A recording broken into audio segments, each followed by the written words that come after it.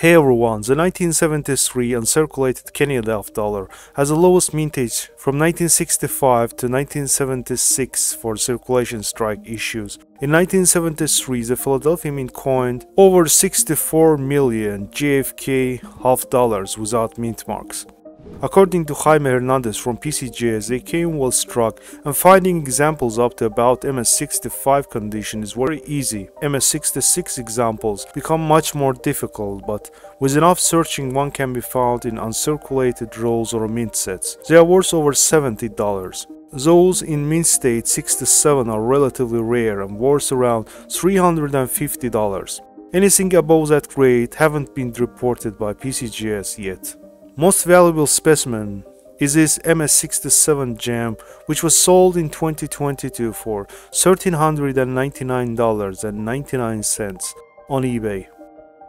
Over 83 million half dollars exited the Denver Mint in 1973 and they all bore the D Mint mark. PCGS has certified nearly 300 specimens in Mint State 66 guiding price is around $35. In MS67 conditions they become scarcer and more valuable, worth over $250.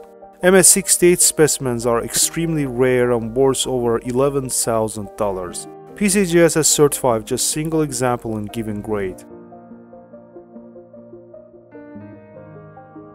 This is one of the most expensive 1973 Denver Struck half dollars.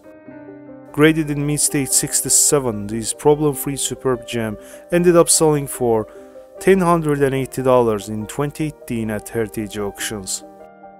Starting in 1974, the San Francisco Mint exclusively made proof coins for collectors and archives. The year before, in 1973, they made nearly 3 million 50 cent proofs. Deep Cameo or Ultra Cameo is the top designation for the proofs. This is 1973's 50 cent in PR70 deep cameo condition. Early Kennedy halves with intense cameo contrast are challenging in any grade, but they become rare in theoretically perfect grade of PR70. Competition for these few early Kennedy half proofs is intense among registry set collectors. This is untoned examples with blatant contrast on both sides. I would also like to show you the super valuable mint error of 1973. Kennedy half dollar double struck both strikes of center. Grade as PR68 Ultra Cameo by NGC. The collar die was not deployed and the planchet was fade widely off center toward 8 o'clock. The second strike was west of the first strike. Remnants of the first strike include the 3 in the date, trust, and Kennedy's profile.